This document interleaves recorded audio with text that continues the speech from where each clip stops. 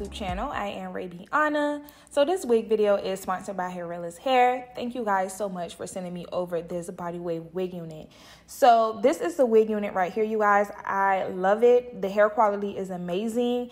And also this is 180% density wig unit. It's probably like a middle ground for me. It's not too thin it's not too full. However, you can make this wig full.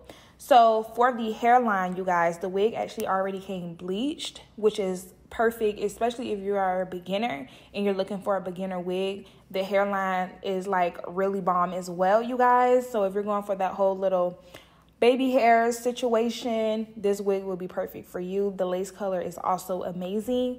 And I also went under my wig and put my foundation under it a little bit. But other than that, you guys, this wig is pretty much straight out the box. I didn't do any plucking or anything to it. And also, when I first started this wig video, I didn't know that I was going to do a bang.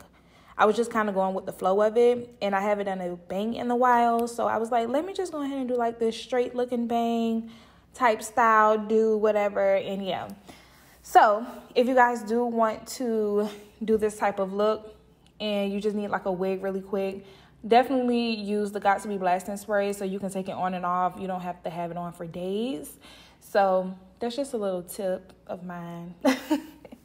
Anyways, I am basically going to go ahead and start the parting and the bang cutting of this wig unit. So make sure you guys are using a hot comb, mousse, spritz, Got2b spray, or whatever it is so that you can like start molding your hair to get ready for the cutting of the bang.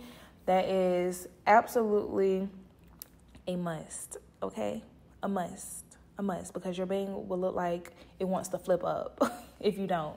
So, anyways, you guys, I am going for like this effortless look. I feel like with bangs, it should not be perfect and giving 2,000 bangs and stuff like that. No, I think that it should just look very effortless, messy, and I put on my wig and just kept going type of look. That's the looks that I like. So, yeah. Anyways, please make sure that when you are cutting your bang, you start long and not starting short because, girl, I would hate for you to cut your bang and you can't go back. There's no going back. So just make sure that you guys start long instead of short. But, anyways, you guys are going to basically see me playing in my hair, cutting the wig, framing it to my face to make it look as effortless as possible.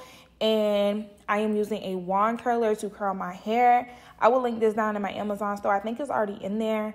Um, I'm not sure the inch. I think it's like a half, one and a half inch type of wine. But anyways, yeah, I'll see you guys at the